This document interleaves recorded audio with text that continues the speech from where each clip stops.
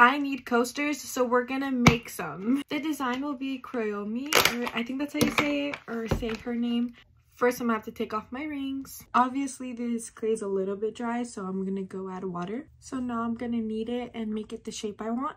Obviously, I need to roll it, so I'm using my setting spray because it's the only thing that's like long enough and like round to actually like flatten it out. And then once you're done, you're gonna start shaping it. So I'm gonna use a knife because that's the only thing I have around the house to use. So for the design, I want this one. So I'm gonna sketch it out real quick. I don't know if you could see the design, but here's the design. And now we're gonna start painting it. I'm going to leave it like this. I'm gonna fix the corners and then I'm gonna Mod Podge it. Anyways, this is how she turned out. She's cute. At least I think she's cute, but I could easily work on it later on. But anyways, thanks for watching.